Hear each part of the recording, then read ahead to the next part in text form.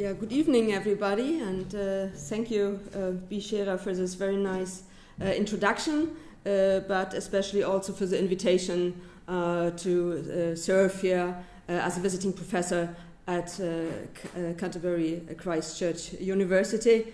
and I look very much forward to the collaboration with you and the rest of the colleagues.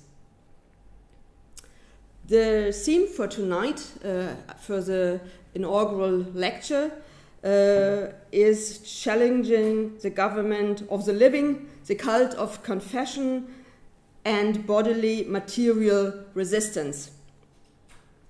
Uh, I'm going to read a prepared text to you, but I have also some uh, film clips to accompany this uh, for you and uh, to enlarge maybe the insights uh, I, you can see the overview uh, of my text. I start with an introduction, then I show to you uh, film clips of the documentary Fake Orgasm. Then uh, I speak about Foucault's book Confessions on the Government of the Living. Then I talk on subject formation, agency, embodied resistance, and confessional culture, developments in the study of the performative, on epistemology, religion as a category of knowledge and a performative concept, and I come then to a conclusion. I think I will, uh, uh, it will, including the film clicks, maybe be 60 minutes, but as I say, including the film. One, the problem of confessional cults and truth regimes. Gender is perhaps the most important code in the world and is especially played out in societies in transition. Gender is one of the most neglected categories in the study of theology and religion at mainstream departments. Religion is heavily intertwined with gender but has been neglected in mainstream gender studies departments. The correlation of postcolonial, post-secular, and queer perspectives on the study of religion and gender tries to tackle some of the problems, to name only a few the essentialization and hierarchization of gender in theology and secularism towards the notion of religion in gender studies. Queer theory added the critique of heteronormativity and heteronormalization to both of them. It is high time for an enlargement of this critique. Many of the current genocides and homicides are based on essentializations of knowledge in the context of religion and gender. We face epistemic violence as neo fundamentalism in all religions. Racism, sexism, homophobia, transphobia, but also the study of gender is under threat. It has been shown how the epistemic order of the 18th to the 20th century is responsible for an essentialist knowledge production. It has also been shown how biopolitical regulation installed state racism. For some years, we tried to detect how gender and religion are constructed and how they intersect with other categories race, ethnicity, class, nation, ability, sexuality, etc.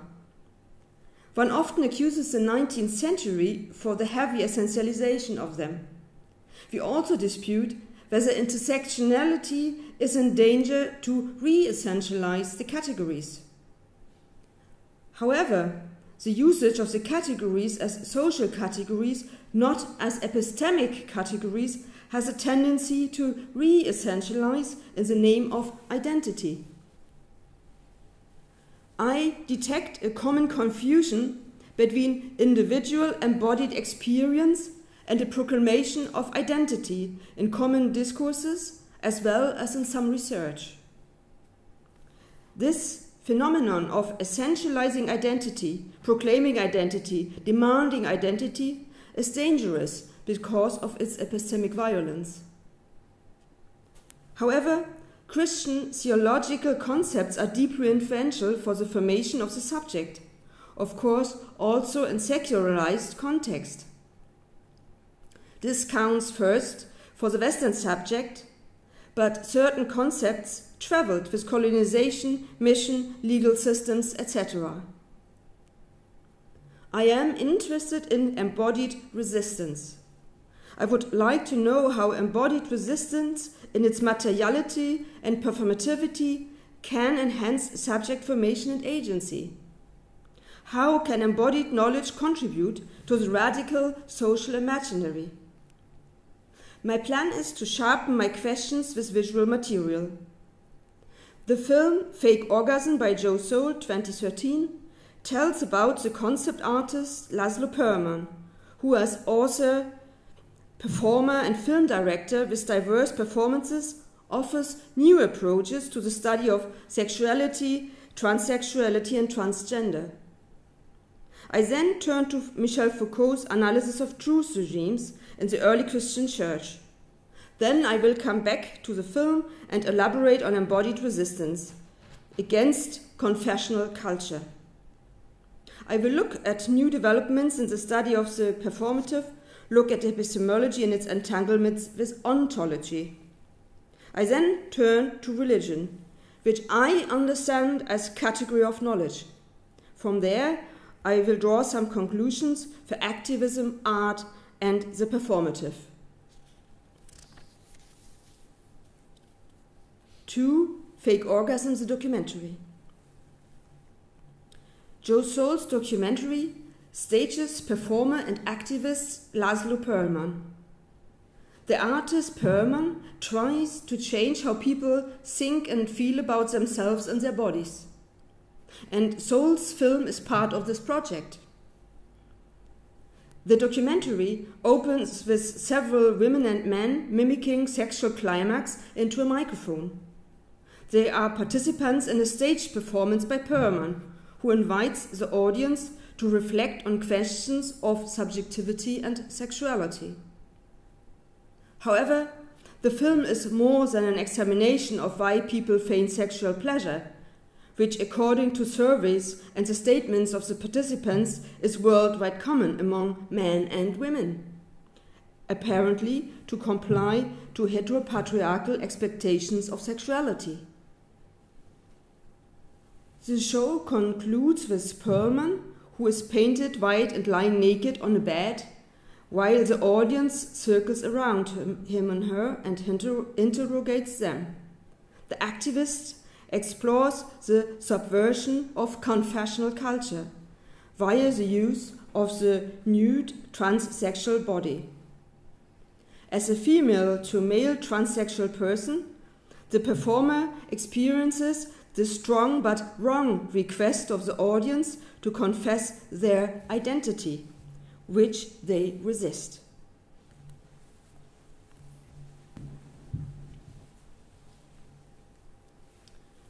For Pearlman, not only the concept of binary sexual identity is inappropriate and violent, but any a priori gender ascription to a subject, because it is a faked category in their words.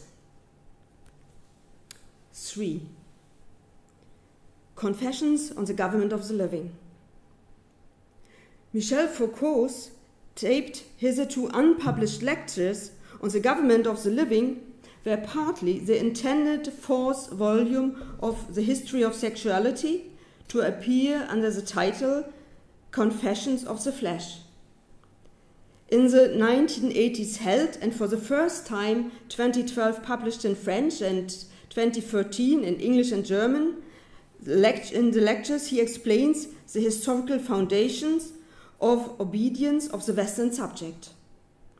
It is interesting to look at this material because the critique of the subject in the humanities is based on his earlier works, which did not rely on theology, where he was focused on power and knowledge, and here he talks about regimes of truth. It is Foucault's idea that confession has largely shaped the modern concept of the subject. Foucault locates these foundations in the connections between obedience and confession within early Christianity. In his genealogy of confession, he underlines that the West developed a concept of confession as liberation, which does not work in other contexts. as empirical research shows, the demand and wish to come out publicly is a typical Western construct. It is even understood as the emancipatory act per se. The confession has both made us aware of our own subjecthood and subjected us to the powers extracting confessions. The problem is to confess, to seek to know, and to produce the truth concerning oneself amounts to a submission. The injunction, Who are you? is an innovation of the Christian West intended to guarantee obedience. Foucault asks, How is it that within Western Christian culture, the government of man requires, on the part of those who are led, in addition to acts of obedience and submission, acts of truth? which have this particular character that not only is the subject required to speak truthfully, but to speak truthfully about himself or herself. He underlines the problematic form of government in a wider sense that we have inherited from Christianity. Foucault try to, tries to trace the history of power of the truth by analyzing the relation that truth maintains with different acts of subjectivation. He shows the emergence and development of forms of revelation whereby one must verbalize the truth about oneself. Foucault locates the beginning of reflexive acts of truth in the institutions of early Christianity between the second and the fifth century. He is not using his usual framework, power knowledge, but instead government truth. Foucault establishes new concepts which he needs for his analysis of Christianity. Firstly, Foucault establishes the word alethurgy to describe the set of possible verbal or non verbal procedures by which one brings to light what is laid down as true as opposed to false, hidden, inexpressible, unforeseeable, or forgotten. He now develops the notion of knowledge in the direction of the problem of truth. However, Foucault is interested in the point of subjectivation in the cycle of alethurgy. The second concept is called truth act. This is the part that falls to a subject in the procedures of alethurgy.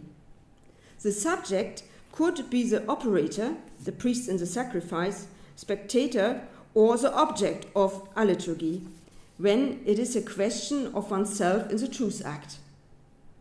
Confession is the purest and historically most important form. The third concept is that of regime of truth. A regime of truth is then which constrains individuals to these truth acts, which, uh, that which defines, determines the form of these acts, and establishes their condition of effectuation and specific effects. The regime of truth goes beyond the science non science opposition, science functioning only as one possible regime of truth among others. In the early history of truth, Foucault finds three main shifts. One, the modification of baptismal procedures by Tertullian. Two, the development of canonical penitence. And three, the appearance of a directing of Christian conscience. Foucault begins his genealogy with the institutions of baptism because here he finds the first link between individual revelation of truth and forgiveness for sins. Postulants for baptism received teaching. Each postulant had to appropriate a number of truths and they would express in the profession of faith. Through baptism, a person is marked as belonging to God, is born again, and via purification of her or his soul placed in the light. In the beginning of the third century, the relationship between purification and truth was completely reconceptualized. Foucault explains how, with Tertullian, the question of access to baptism led to an important renewal of the Christian conception of the relations between subjectivity and truth, and how Western humans recognize themselves as objects of knowledge. Three points are important. One, until the second century, baptism is connected to a procedure of truth which has the form of teaching into the truth. At the end of the pedagogical process, the person gains access to the divine truth uh, through the sacrament uh, of water. Two, Tertullian's invention of the original sin leads him to a radical redefinition of the time in preparation for baptism. Because humans are born in a strong state of corruption, corruption, they need a complete transformation of their nature before the baptismal act. Tertullian writes, We are not bathed in the water in order to be purified, but because we are purified. 3. Another consequence of the idea is that of the original sin. It is that Satan lives in the human being. The preparation for baptism is hence a struggle against the devil in us. The forgiveness of sins cannot free us from the fear of relapse. The faithful must remain subject to this fear through their lives and an anxious relationship to themselves. From this new idea of time before and after baptism stems the necessity of repentance extending to the whole life. Before canonical penitence, the person saw penitence only as a part needed to prepare for baptism. Since baptism could not be repeated, the possibility of a second penitence did not exist. The problem occurred of what to do with persons who sin after baptism. The introduction of a post baptismal penitence allowed sinners to atone their sins and renew their relationship with the truth. Canonical penitence does not work as a second baptism. In the beginning, post baptismal penitence was only offered once and strongly supervised and regularly forced to express truth about themselves. In Christianity, the verbalizing of who you are is important, performed as exomologesis, a dramatic manifestation of oneself, in which the sinner, in the rite of second repentance or canonical uh, penance, asks to be reintegrated into the church. It is not yet a verbal confession, but important formation in the establishment of reflexive acts of truth. It is around the Greek metanoia, which meant to become different, reinterpreted as repentance and mortification, that the question of the relation between subjectivity and truth shifted and connected with this government of human beings. The translation and new interpretation of concepts from Greek to Latin marks a decisive epistemic break.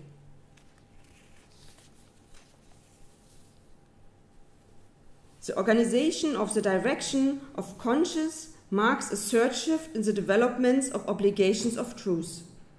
And Foucault analyzes this in the first Christian monasteries in the fourth century. He underlines an emergence of a continually renewable penitential process. Furthermore, here is a linkage between the procedures of verbal confession and the techniques of introspection and self examination. This is the cradle of permanent confession and at the same time the beginnings of Christians and more generally Western individuals' subjectivity. Since Satan was suspected to directing bad thoughts towards the Christian souls under the guise of good, the Christian subject would never be able uh, to be their own judge. Therefore, the subject needed to confess the thoughts to a director to whom one owes unconditional obedience. Here, exagoreusis, the manifestation of thoughts, appears as a practice of examination of conscience in the frame of monastic direction. Exagoreusis implies a, a permanent attention towards one's thoughts to differentiate between satanic and divine ideas. B. Exagoreusis does not aim at actions but thoughts. C. The new verbalization technique is attached to a director and requires complete, permanent, and unconditional subjection. Obeying in all things and keeping no secret thoughts merged. Foucault underlines the turning point in Christian sexual ethics occurring with the Augustinian conception of libido, which is expressed in the principle of autonomous movements of sexual organs. Quote, end of quote. Foucault relates it directly to the practice of the examination of conscience according to John Cassianus. It is on the basis of the libidinization of sex by St. Augustine that the monastic control of thoughts becomes even more important.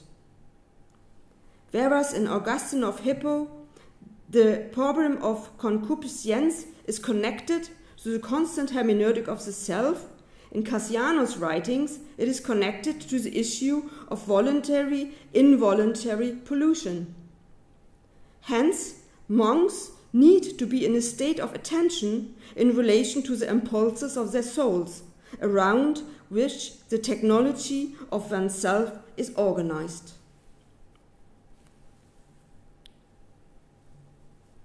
Non Christian ancient education remained provisional, instrumental, and limited its role to accompanying a person until they become independent, aiming at autonomy. The Christian obedience required was obedience which generated obedience.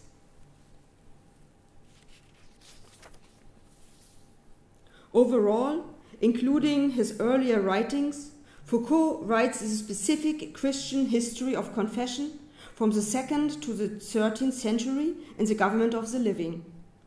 He finds that acts of faith and acts of confession in Christianity are interdependent but have different morphologies. He shows a tension between the poles A of faith to a revealed truth and B confession um, and confession acts of manifestation of a hidden truth emerging in Tertullian's writing and remaining. The obligation of confession was gradually introduced in penitential practice in the form and codified only in 1215 of regular, continuous, and exhaustive confession. Confession seemed to merge with sacramental confession. If Christianity instructs the subject to know him herself, to verbalize what he she is, it is because this request will make one a subjected subject.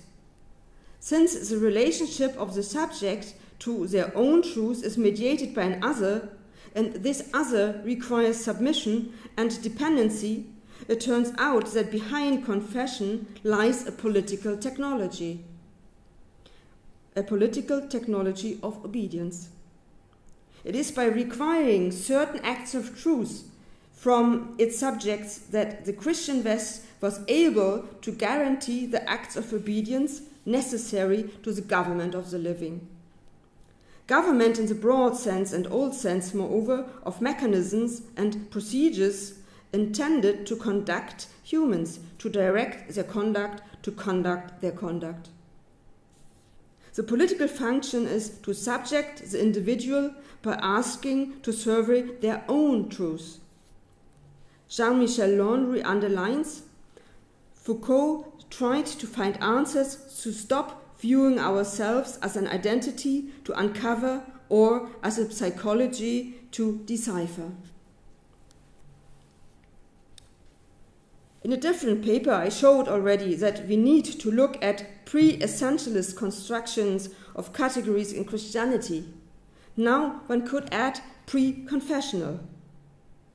However, we would like to look at current forms of resilience. My fourth point body resistance to confessional culture, subject formation, agency. Lazlo Pearlman performs a corporal insurrection. Pearlman extends his show and takes us to a Barcelona nightclub and generates surprising results.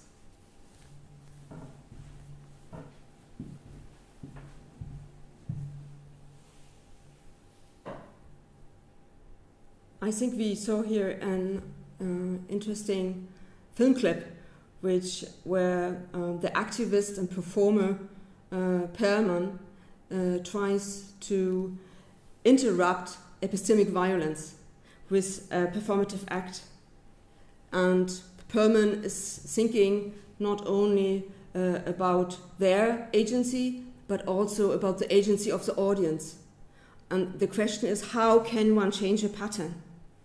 And uh, idea is that via performance one can uh, bring about interruption.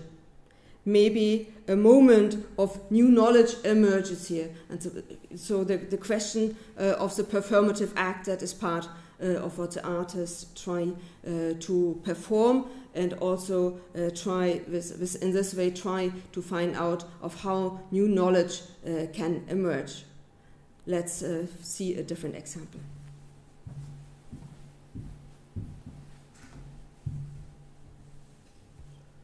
I think this is a very interesting scene where uh, uh, Lazlo Pearlman um, is in a shower, and so we see uh, the naked body, but not at all in a sexual way or an erotic way, but really in a very human way with uh, um, what something uh, one uh, could call uh, human materiality. So the the human body sweating, getting older as everybody else. So uh, Pearlman is uh, trying uh, to speak to other human beings as human beings and address them in that way.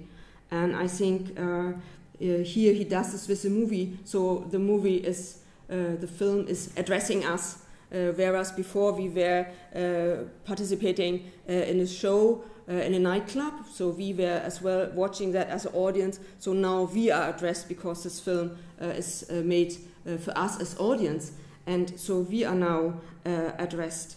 And um, so Pearlman uh, puts themselves on purpose in scene in a variety of performances and uh, contradictions, so self assured, yet insecure, selfless, yet narcissistic, in a variety of moods, uh, watching their own movie uh, with or without partner, off stage, on stage. So there are uh, different things. And um, yeah, here um, I think the statements uh, where uh, Pearlman talks about themselves I become more human, I'm getting older like everybody else, more red, more fragile, bound to help eventually, uh, as we are all.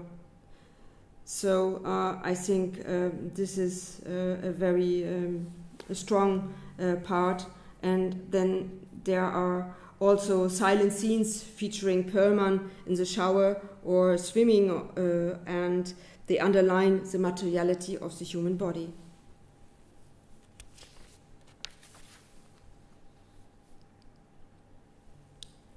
If we uh, look at uh, new developments in the study of the performative, uh, for, point five, there are two main areas of performative theory the analysis of linguistic performativity and on artistic performances. The limits of the language theory approach are that, on the one hand, it excludes materiality and corporality. On the other hand, this theory does not abandon the idea of representation as application, because the human subject is understood as generator of the world, including speech act theory. The developments of the notions of the performative, of performativity and performance are connected with different tendencies. There's, on, there's one tendency towards a theatralization of the notion of the performative, which addresses the intersection between doing and performing. Furthermore, the issue of quotation and the literalization of performance is analyzed. Eventually, these tendencies merge in the question of conditions of corporality, which leads to a medialization of the performative. Where the linguistic approaches inquired the communicative functions, uh, cultural theory concepts of the performative scrutinized conditions of medial conditions of embodiment. In that way, aspects of mediality and materiality of performative acts are in the focus. The notion of the performative is being used in anthropology, in theater studies, and in media studies.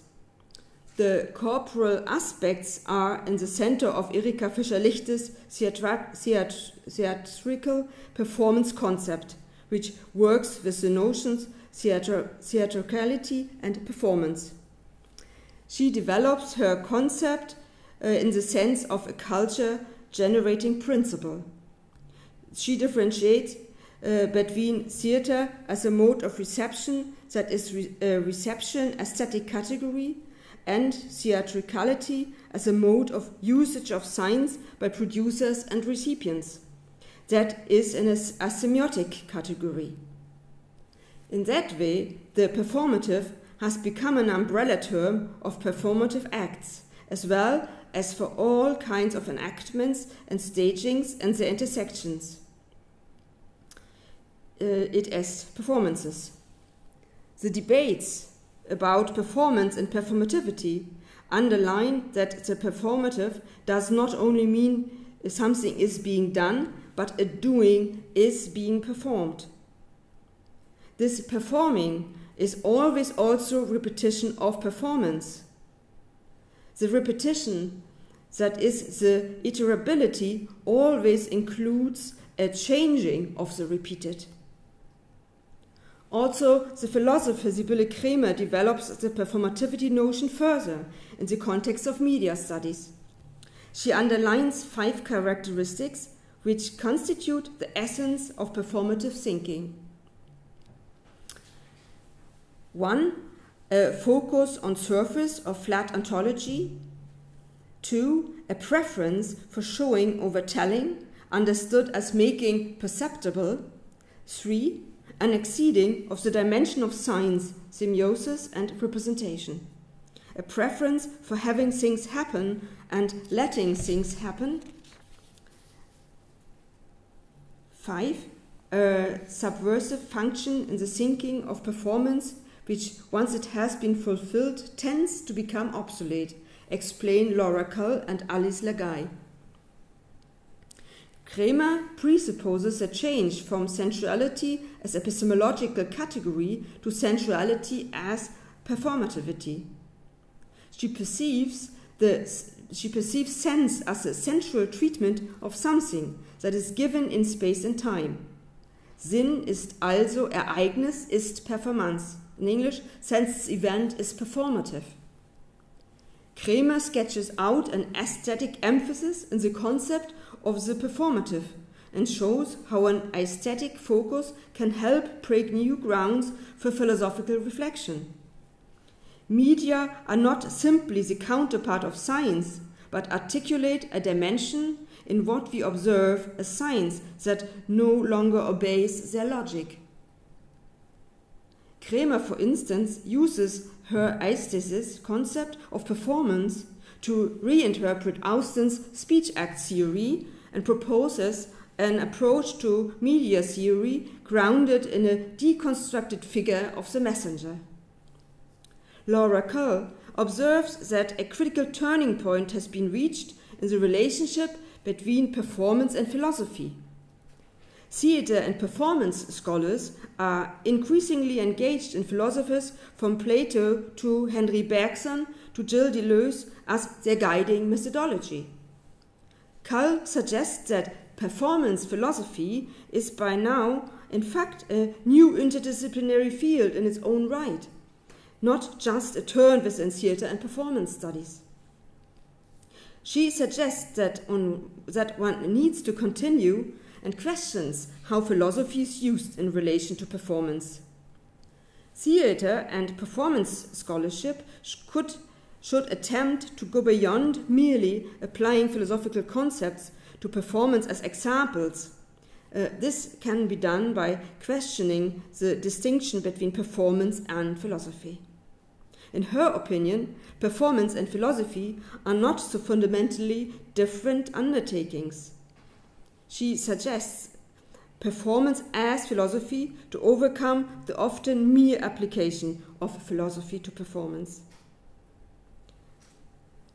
Cull suggests philosophers and performance scholars alike might extend their conception of what counts as thinking to include not only activities like performance, but embodied experiences and material processes of all kinds. Six on epistemology.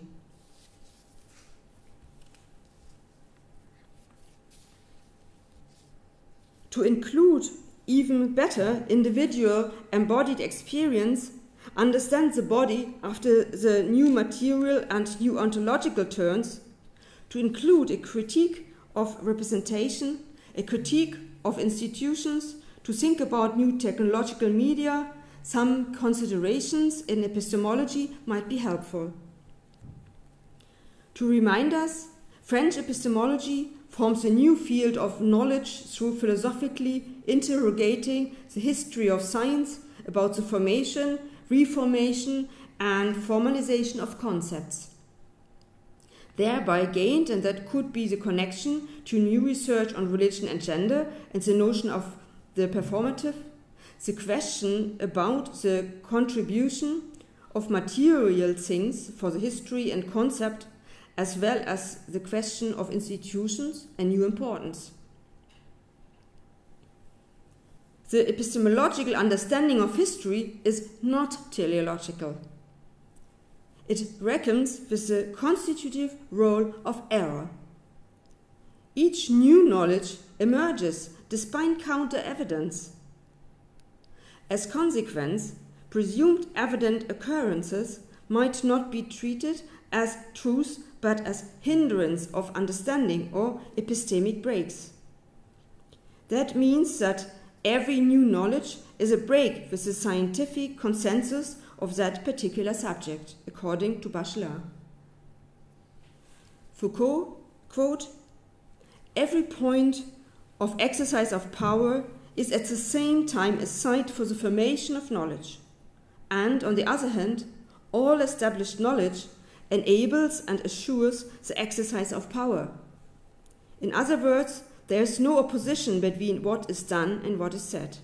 End of quote. Knowledge and power are antinomic. For knowledge to be developed, relations of power must be suspended. Feminist epistemologist Donna Haraway shares Georges Canguilhem's question, underlining that the history of rational knowledge and its production cannot be understood independently of the materiality of history, the relation to the technical media, the institutions, and the procedures of power.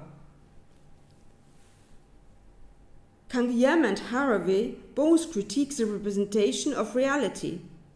However, Methodologically, Haraway suggests for a critical practice to substitute the optical metaphor reflection with diffraction, which she takes from Minh Ha.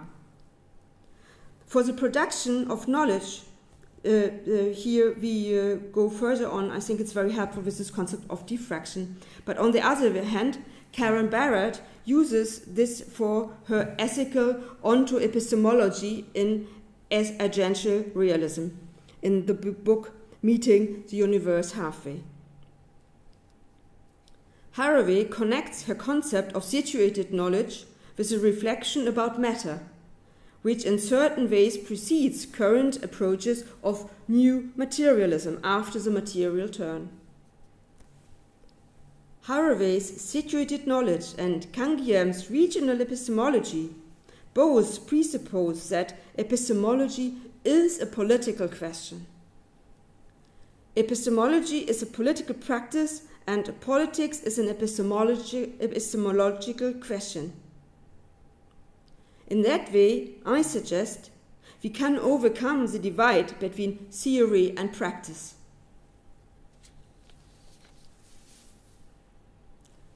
Both Haraway and Canguilhem underline that epistemology does not simply find its object, but have to create it. For both, epistemological work is connected with the concept of critique, and both hold that the radical imagination, the Einbildungskraft, plays a constitutive role for the sciences as well as for the practice of, of epistemology. 7. On religion and the notion of the performative. To undo confessionalism, also the category of religion needs to be reconsidered from an epistemological and performative perspective. For theology and the question of representation, Ernst Kantorowicz' study, The Two Bodies of the King, a study of political theology of the Middle Ages, is seminal. He showed how the double nature of Jesus Christ, understood by Christology as human being and godly, was transferred to the godly king concept. Even after, secu- after a secularization process, the concept remained influential and fueled ideas of the holy nation and concepts of sovereignty up until the present. The anthropological notion of the performative depends on corporal aspects in practices of ritual doing in the context of a different or own cultural context. Belliger and Krieger understand rituals as meta performative communicative acts, which means that ritualized doing would have to be perceived as to emerge previously to communicative acts. Victor Turner goes a step further. He suggests the ethnological reenactment of ritual practices. To slip into the role of the members of a different cultural context could help to understand better diverse concepts of roles, representation, or liminality. However, with the post secular turn in theory and post colonial theory, and some influences from deconstructive religious studies, the category of religion came also under new scrutiny. Tomoko Masuzawa describes religion as an imagined or invented categories along the lines of Benedict Anderson's critique of the nation as imagined. Developing this further on different occasions, I described religion as an interdependent category of knowledge, intersecting with the categories of gender, sexuality, race, class, nation, ability, or species. To understand religion as a category of knowledge means to underline the discursive character of religious knowledge and to point out the relationship between dominant and resistant discourses in religious and theological contexts. It also means to show how subject formation and agency are developed in relationship to dominant religious discourses, as Saba Mahmood showed in her Politics of Piety, the Islamic revival of the feminist subject. To understand religion as performative category rather than as collective identity does not mean to give up on faith and its content, but rather to dismantle the ideological perversions and the universalist claims to supremacy where that happens. Now I would like to, to, talk about one of my own projects, that is study of the performative and theology and philosophy of religion inform each other.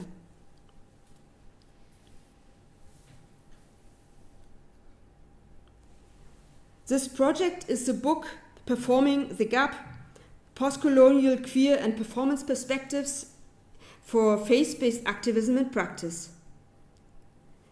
In this book, we explain our experiences, preparations, and the feedback which we received during a series of experiential, queer, and postcolonial services in the frame of the Berlin University services which took place between 2010 and 2013.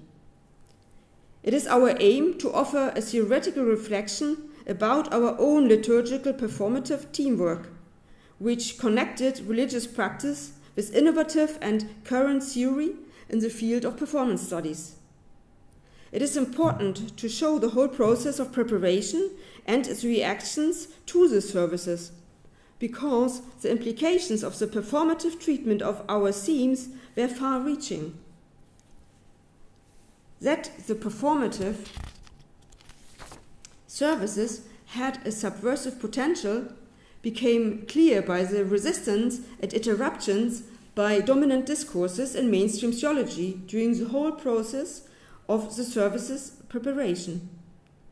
Some of our positive experiences was the unexpected great creative potential which we found in surprising, unusual, contingent, inter and transreligious cooperations and alliances which emerged beyond identitarian confessional categories like feminist, academic, left, religious, non religious.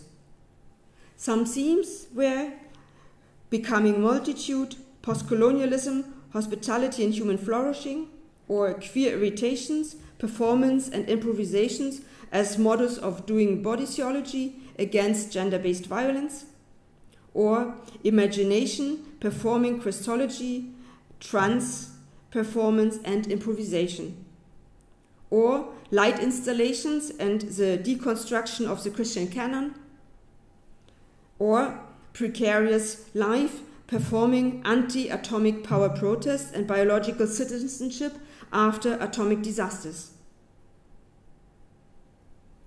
And I come to aid my conclusion. Decolonizing public space, activism and epistemology, and the performative. Lazlo Pearlman writes The film uses that space to find freedom from the normative, to subvert it, defy it, redefine it, even and in fact to enjoy and play within it, whenever, however, with and as whoever we please. In conclusion, I would say, in the shared performance, a collective agency emerged. Individual human flourishing is connected with the shared solidarity vision for alternatives to a neoliberal and neo-colonial world. And we finish with Lazlo Pearlman.